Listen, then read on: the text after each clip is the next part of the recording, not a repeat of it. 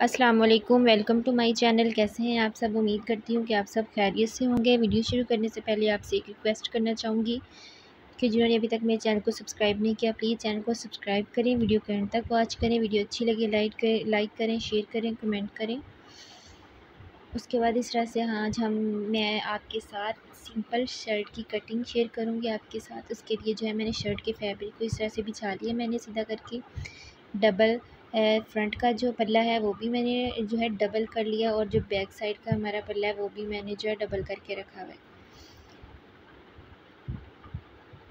Shirt की जो open side है साइड वाली, वो जो है सामने है। इस तरह से जो है हमने पहले साइज़ कर लेना है शर्ट का कि क्या साइज़ हमने रखना है। चेस्ट से हमने जो है तैयार जो है हमने ट्वेंटी इंचज़ रखना है। कमर से तैयार जो है तकरीबन सेवनटीन से एटीन इंचज़ रखना है। तीरा हमने तैयार फोर्टीन इंचज़ रखना है।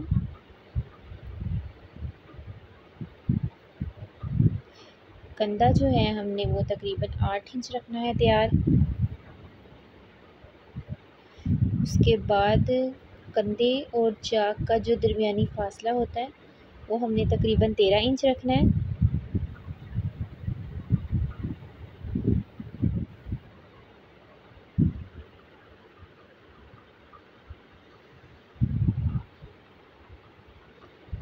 हिप से हमने जो है तकरीबन ट्वेंटी टू इंच रखना है। बाजू जो है हमें ट्वेंटी इंच लंबा रखना है। उसके बाद इस तरह से शर्ट के जो है कपड़े को हमने सीधा करके रख लेना है। चार तय में हमारे पास कपड़ा आ गया है। और शर्ट की लंबाई जो है, अब हमने लंबाई जो है तकरीबन वो फोर्टी इंचज़ लेनी है। तैयार जो है हमारी लेंथ शर्ट की वो फोर्टी इंचज़ है। शर्ट के कपड़े को जो है बिल्कुल सीधा करके रख देना है। एक्स्ट्रा कपड़ा जो है नीचे की तरफ़ जो आ रहा है वो हमें कट कर देना है।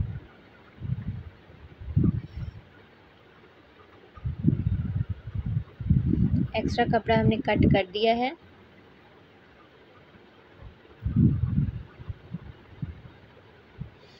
उसके बाद इस तरह से हमने जो है सबसे पहले हमने लेंथ लेनी है कि हमने शर्ट की लेंथ कितनी रखी। नीचे से भी एक से डेढ़ इंच फोल्डिंग के लिए रख दिया, ऊपर से भी जो है वन इंच हमने सिलाई में आने के लिए रख दिया है एक्स्ट्रा तो मार्क कर दिया है हमने। मार्क करने के बाद जो है, हमने तीरे का साइज़ लेना है। तीरा जो हमारा तैयार था, वो फोर्टीन इंचज़ था। ये देखिए, ये ओपन साइड जो है, उस साइड से हमने कंधे की जो है मार्किंग करनी है। डबल में तीरा सात इंच पे इस तरह से मार्क करना है। और ये पौना इंच जो सिलाई का मार्जिन है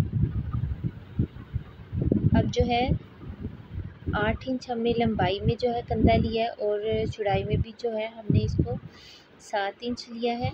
ऊपर से डबल में हमने सात इंच लेके लंबाई में भी हमने सात इंच पे मार्क किया। उसके बाद चेस्ट से हमारी चेस्ट जो तैयार थी, वो है ट्वेंटी यहाँ से अभी हमने सिलाई का जो मार्जिन नहीं छोड़ा, उसके बाद कंधे पे रख के कमर का जो हमारा फिटिंग का मार्क आएगा, वो छः इंच पे आएगा छः से साढ़े छः इंच पे।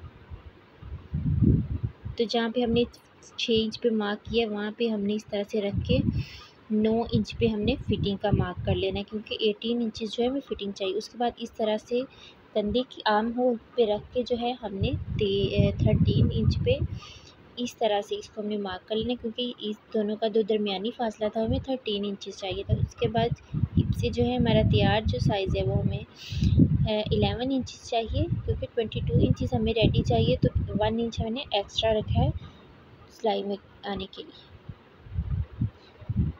मतलब कि जो है बारह बारह इंच पे मार्क कर लेना, दोनों साइड से वन वन इंच जो है सिलाई में आएगा। और तकरीबन जो है डबल में ग्यारह वैसे जो है बाई इंच रह जाएगा।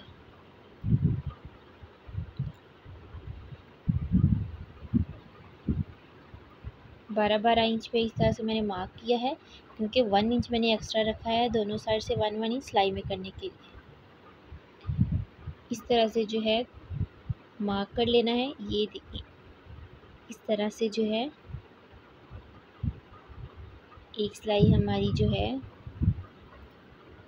सिलाई में आने के लिए एक ए, जो है तकरीबन वन इंच सिलाई में आने के लिए रखा। उसके बाद इस तरह से अब हमने आर्म होल पे जो है एक से डेढ़ इंच का मार्जिन देते हुए इस तरह से गुलाई कर लेनी है हमने। कॉर्नर पे रख के इंच स्टेप को। उसके बाद यहाँ से सिलाई में हमने जितना भी कपड़ा करना उतना कपड़ा छोड़ के हमने इस तरह से मार्क कर लेना है। और इसको जो है हमने चाक वाली बाहर की तरफ़ जो मार्क किया था उसके साथ इसको टच कर देना है क्योंकि जो है ये सिलाई का एक्स्ट्रा मार्जिन है।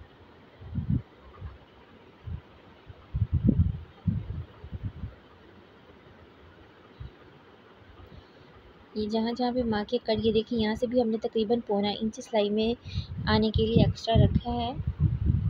तो अंदर अंदर की तरफ़ जो मार्क आ रहा है चौक की मदद से जो हमने मार्क किया है, वो फिटिंग है। बाई की तरफ़ जो सिलाई का मार्जिन छोड़ के इस सिलाई में आने के लिए हमने कपड़ा एक्स्ट्रा छोड़ा है।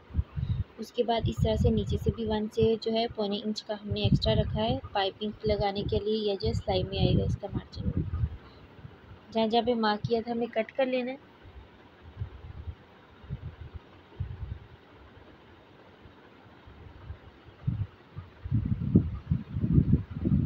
अब हमने फ्रंट की जो है आर्म होल की गहराई करनी है। तो उसके लिए इस तरह से हमने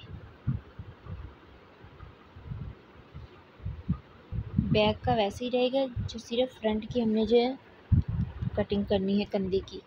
उसको हमने मज़ीद गहरा करना है। ऊपर से इस तरह से हाफ़ इंच हमने तिरछा करना है। हाफ़ इंच का मार्क करके उसको तिरछा कर देना है।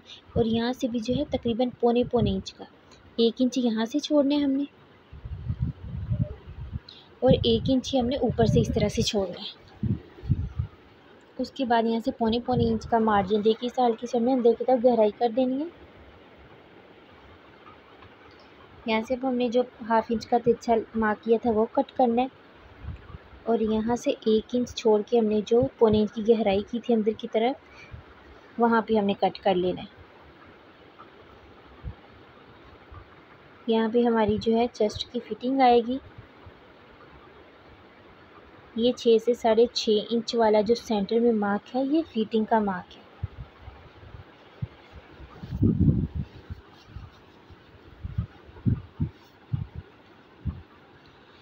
इस तरह से जो शर्ट की हमारी कटिंग कंप्लीट हो चुकी है, स्लीव्स की कटिंग करेंगे।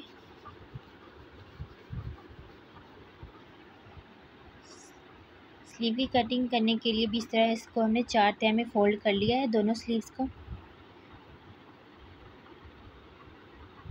ओपन साइड जो है स्लीव्स की वो मुझसे दूरी पे है तो इस तरह से जो बंद साइड है, वहाँ पे मैं इंची स्टेप रख के इसको मार्क कर रही हूँ लंबाई को। ट्वेंटी इंचज़ जो है, तैयार चाहिए थी हमें तो हमने तकरीबन जो ट्वेंटी टू इंचज़ रखी है, वन वन इंच जो है, दोनों साइड से सिलाई का मार्जिन दिया। तो इस तरह हल्की सी हमने कंधे की जो है कर देनी है गुलाई। जहाँ जहाँ पे मार्क है, बेल बॉटम में जो है ये स्लीव्स हैं, आप चाहें तो जस्ट बिल्कुल स्ट्रेट में भी बना सकती हैं। और जो हल्के से जो तिरछे हम स्लीव्स बनाती हैं, वैसे भी आप इसकी कटिंग कर सकती हैं। बस आगे से ही हल्की सी कटिंग होगी, जो आर्म होल की कटिंग जो कंधे की ऐसी ही कटिंग होगी। इस तरह से जो है मैंने बहुत आसानी के साथ आपके साथ शर्ट की कटिंग कटिंग शेयर की है। अगर आपको मेरी वीडियो अच्छी लगी है तो मेरी वीडियो को लाइक करें, मेरे चैनल को सब्सक्राइब करें, बेल बटन को ज़रूर प्रेस करें, ताकि आने वाली हर वीडियो का नोटिफिकेशन आपको मिलता रहे। अपना बहुत सारा ख्याल रखें, दुआओं में याद रखें। मिलते हैं एक नई वीडियो में। तब तक के लिए अल्लाह हाफिज़।